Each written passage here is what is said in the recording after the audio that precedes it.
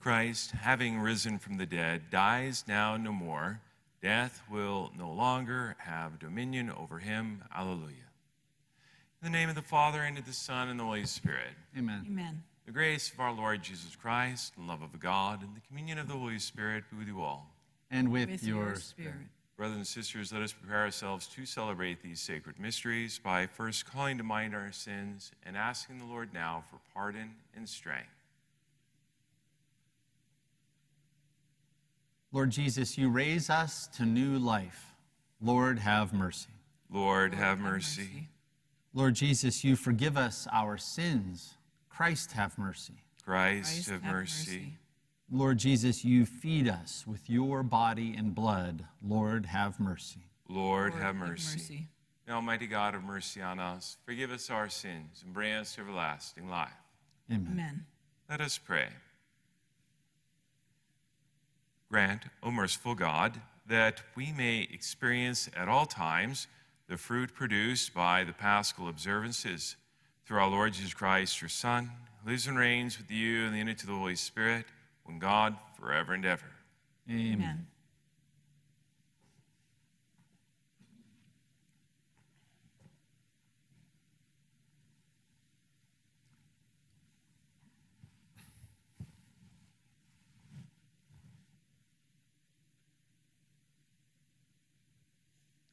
A reading from the Acts of the Apostles.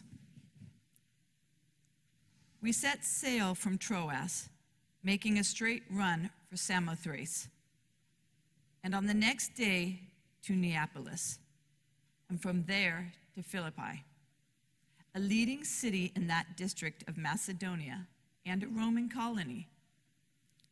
We spent some time in that city. On the Sabbath, we went outside the city gate along the river, where we thought there would be a place of prayer. We sat and spoke with the women who had gathered there. One of them, a woman named Lydia, a dealer in purple cloth, from the city of Thyatira, a worshiper of God, listened. And the Lord opened her heart to pay attention to what Paul was saying. After she and her household had been baptized, she offered us an invitation. If you consider me a believer in the Lord, come and stay at my home. And she prevailed on us. The word of the Lord. Thanks be to God. The Lord takes delight in his people. The Lord Lord takes takes delight delight in in his his people. people. Sing to the Lord a new song of praise in the assembly of the faithful. Let Israel be glad in their Maker. Let the children of Zion rejoice in their King. The Lord takes delight in his people. Let them praise his name in the festive dance. Let them sing praise to him with timbrel and harp. For the Lord loves his people, and he adorns the lowly with victory. The Lord takes delight in his people. Let the faithful exult in glory. Let them sing for joy upon their couches. Let the high praises of God be in their throats. The Lord, Lord takes, takes delight delight in his his people. This is the glory of all his faithful. Alleluia. The Lord takes delight in his people.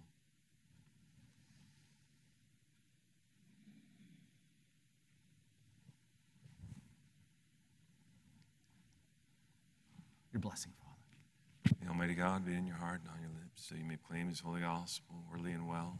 In the name of the Father, and the Son, and the Holy Spirit. Amen.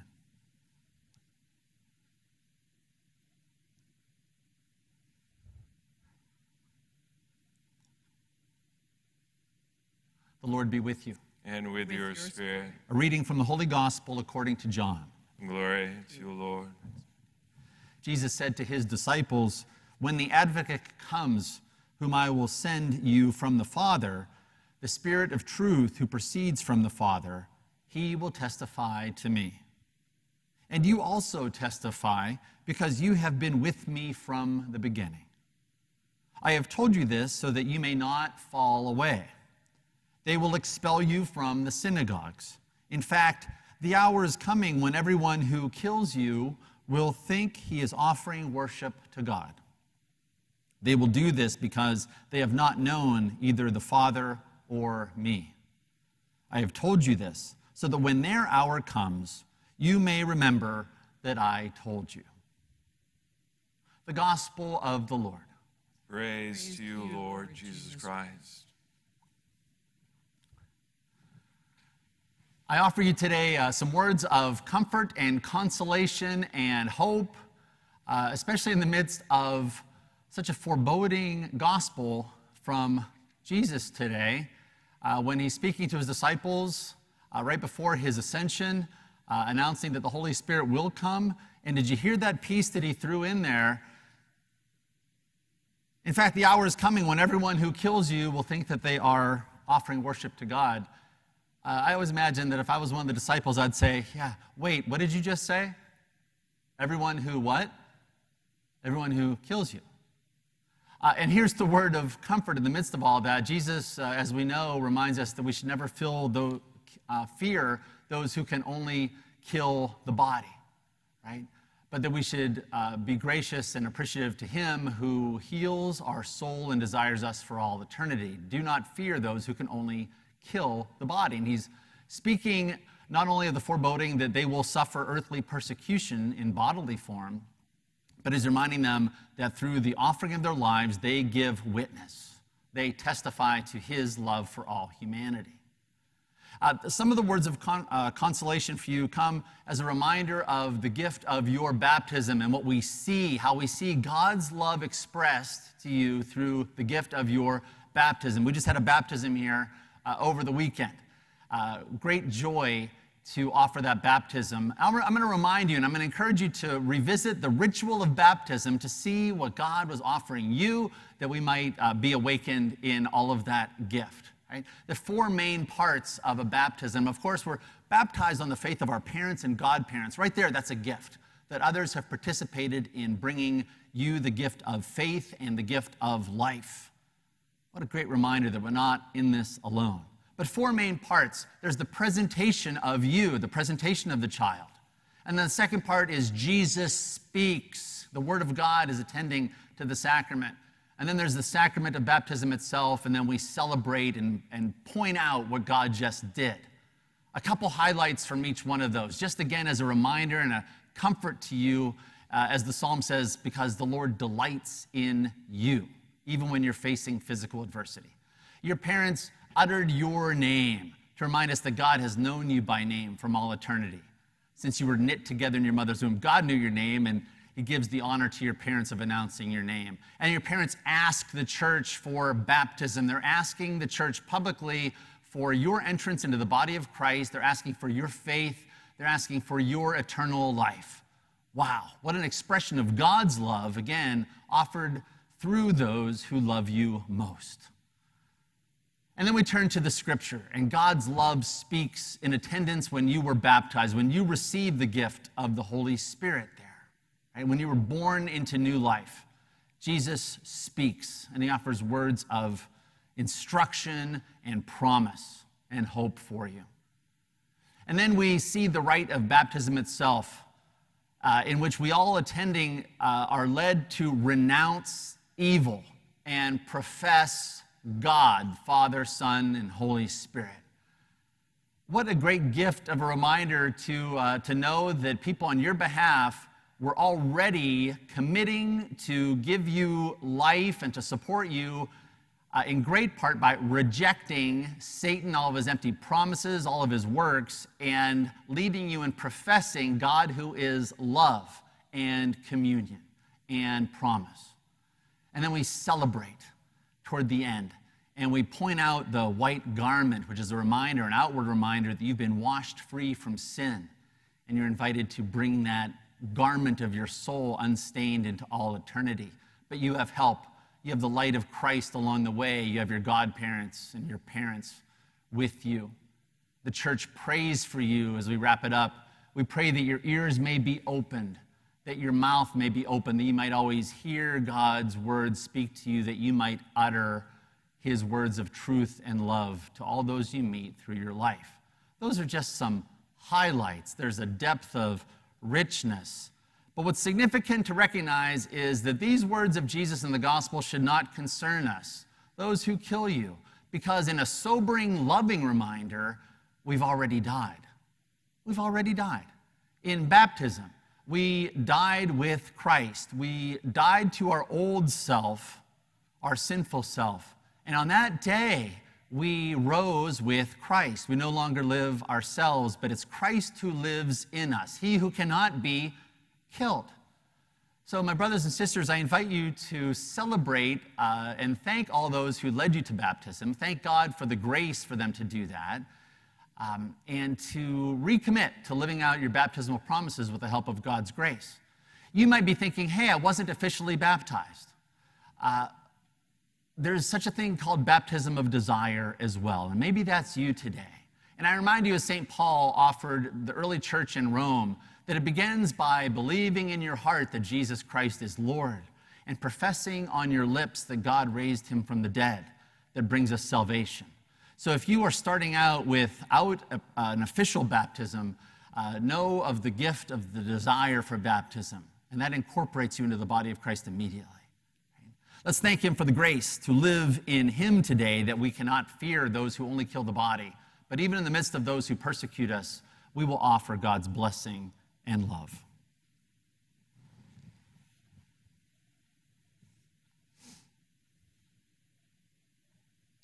Let us now rise and gather the needs of this day and present them to God the Most High. For Pope Francis, for all bishops, priests, and deacons, May they, like Paul, be fueled by the outpouring of the Holy Spirit as they preach the word of God. We pray to the Lord. Lord, hear our prayer.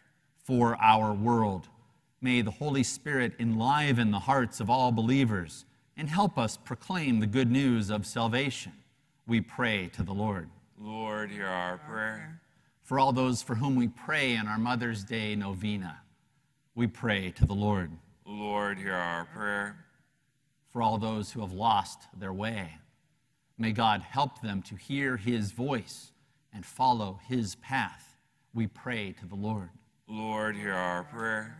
For all of us gathered here at liturgy today, may God give us perseverance as we continue on our own journeys of evangelization. We pray to the Lord. Lord, hear our prayer. And for those who have died, may they experience the peace and joy of the heavenly kingdom, we pray to the Lord. Lord, hear our prayer. Good and gracious God, bring the needs of this day, those spoken, those within our hearts, and those yet unknown. We ask that you grant them all through your Son, Jesus Christ, who's Lord forever and ever. Amen. Amen.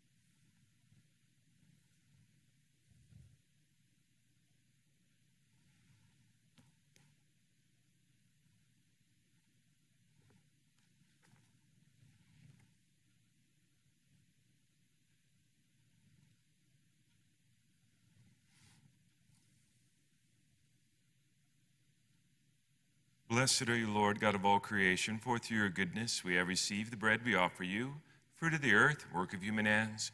It will become for us the bread of life. Blessed be God, God forever. forever.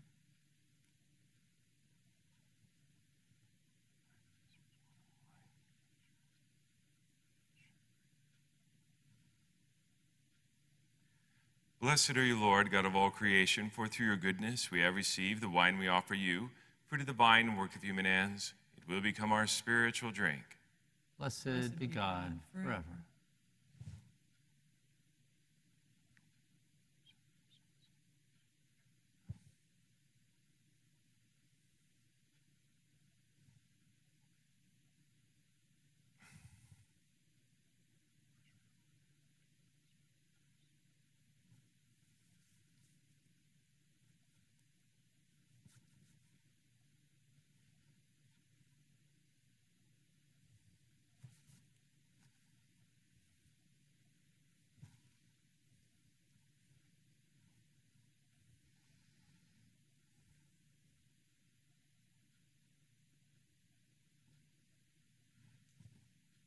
Stand and pray, brothers and sisters, that my sacrifice and yours may be acceptable to God, the Almighty Father. May the Lord accept sacrifice at your hands for the praise and glory of his name, for our good and the good of all his holy church. Receive, O Lord, we pray, these offerings of your exultant church, and as you have given her cause for such great gladness, grant also that the gifts we bring may bear fruit in perpetual happiness through Christ our Lord. Amen. The Lord be with you. And with, With your your spirit, Lift up your hearts. we lift them up to the Lord. Let us give thanks to the Lord our God. It is right and just.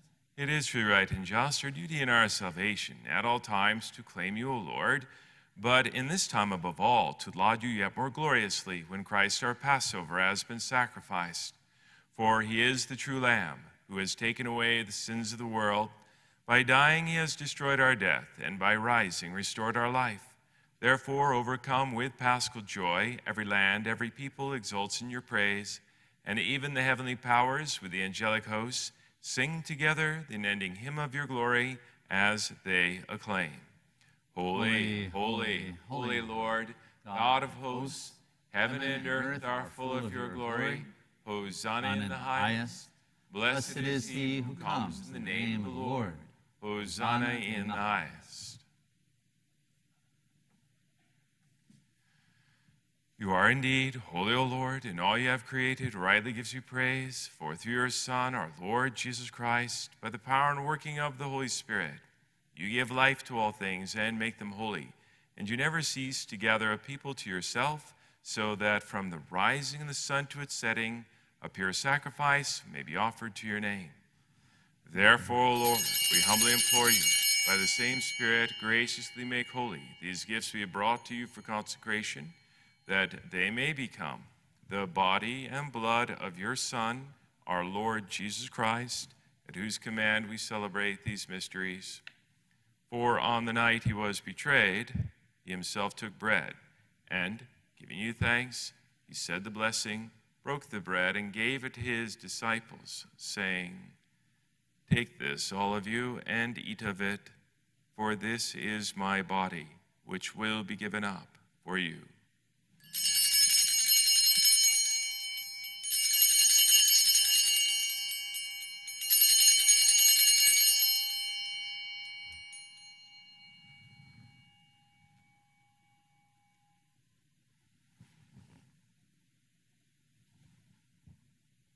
In a similar way, when supper was ended, he took the chalice, and, giving you thanks, he said the blessing, and gave the chalice to his disciples, saying, Take this, all of you, and drink from it, for this is the chalice of my blood, the blood of the new and eternal covenant, which will be poured out for you and for many for the forgiveness of sins.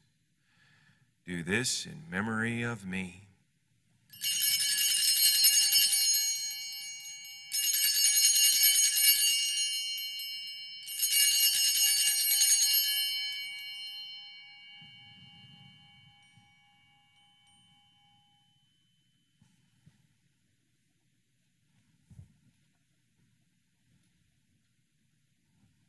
The mystery of faith.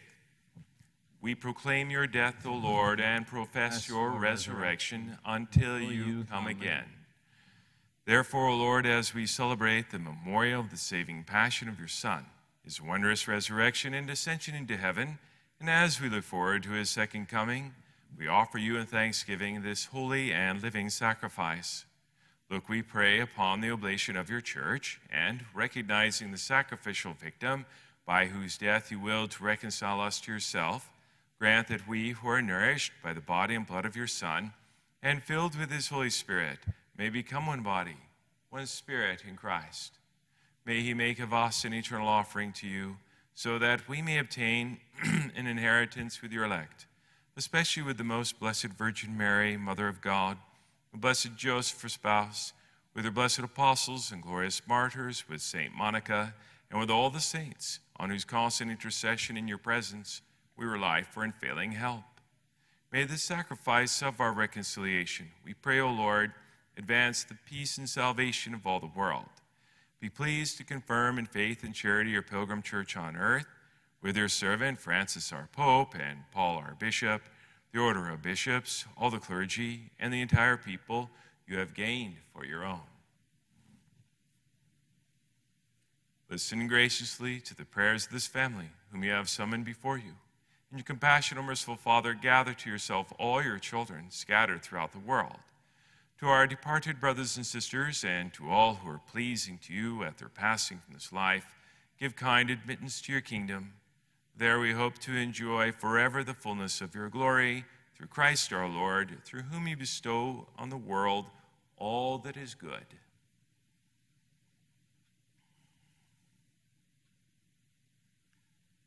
Through him and with him and in him, O God Almighty Father, in the unity of the Holy Spirit, all glory and honor is yours forever and ever. Amen.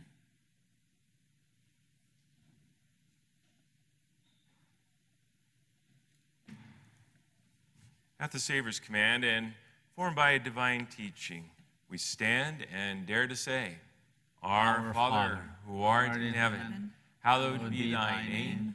Thy kingdom come, thy will be done, on earth as it is in heaven. Give us this day our daily bread, and forgive us our trespasses, as we forgive those who trespass against us. And lead us not into temptation, but deliver us from evil. Deliver us, Lord, we pray, from every evil. Graciously grant peace in our days, that by the help of your mercy we may be always free from sin and safe from all distress, as we await the blessed hope and the coming of our Savior, Jesus Christ. For the kingdom, the power, and the glory are yours, now and forever. Lord Jesus Christ said to your apostles, Peace I leave you, my peace I give you.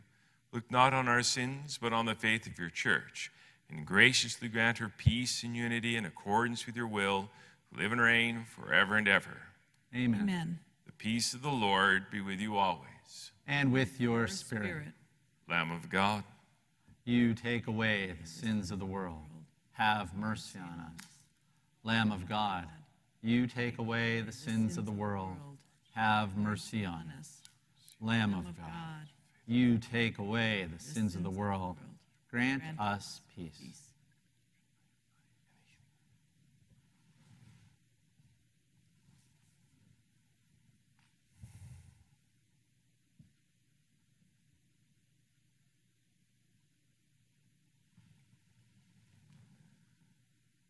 Behold the Lamb of God.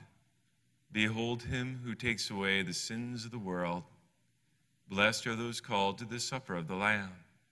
Lord, I am not worthy that you should enter under my roof, but only say the word, and my soul shall be healed.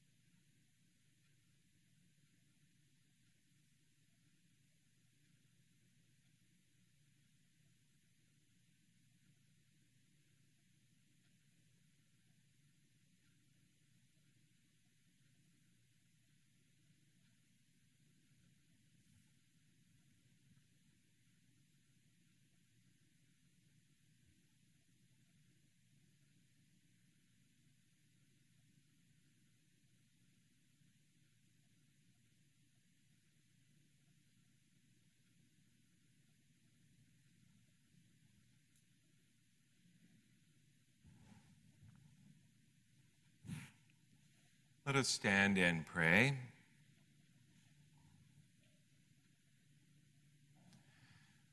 Look with kindness upon your people, O Lord, and grant, we pray, that those you were pleased to renew by eternal mysteries may attain in their flesh the incorruptible glory of the resurrection through Christ our Lord. Amen. Amen. The Lord be with you. And with your spirit. May Almighty God bless you, the Father, and the Son, and the Holy Spirit.